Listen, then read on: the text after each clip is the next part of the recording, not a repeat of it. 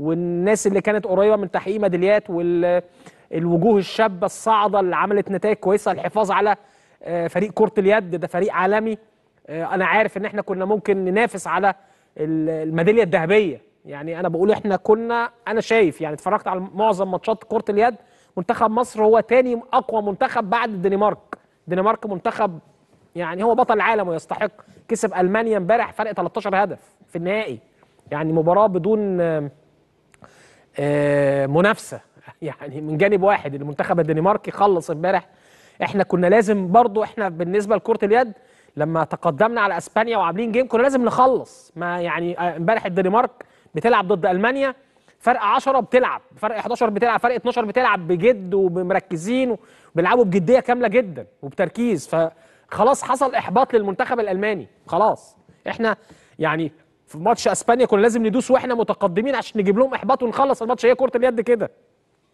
لو انت فرقت خمس ست اهداف وحافظت على الفرق ده ودوست أكتر هتجيب احباط للمنافس. لكن إحنا في ماتش اسبانيا كنا بنخليهم يقربوا مننا فكان عندهم امل لغاية آخر لحظة في في المباراة وقدروا يتعادلوا معانا في نهاية ال- الوقت الأصلي من المباراة ولعبنا extra time وهم بقى عليوا علينا معنويا. في كرة اليد دايما لما بيكون فريق بعيد وخسران وبيرجع في نهاية المباراة بيعلى معنويا على الفريق اللي كان كسبان وده اللي حصل معانا في ماتش أسبانيا.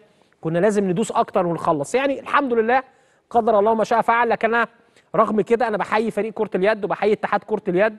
آه كنا مستنيين منهم ميدالية لكن هم بصراحة أمتعونا في الأولمبياد. ومش معنى إن إحنا خسرنا أو خرجنا إن إحنا وحشين ونقعد نقطع في الناس و...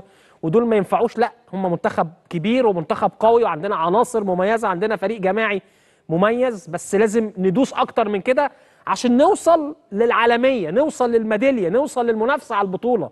عندنا حتة إحنا كده كمصريين في الألعاب الجماعية بنيجي عند الحتة الأخرانية في المباراة أو الجزء الأخير في المباراة ما بن... ما بنفنش الماتش بنفس الجدية اللي بدأنا بيها المباراة.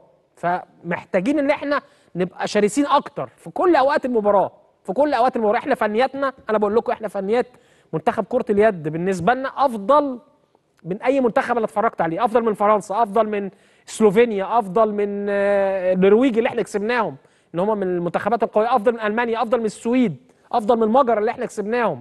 فيعني إحنا كنا عملنا كمان مباراة عالمية مع الدنمارك تاني ماتش في الأولمبياد.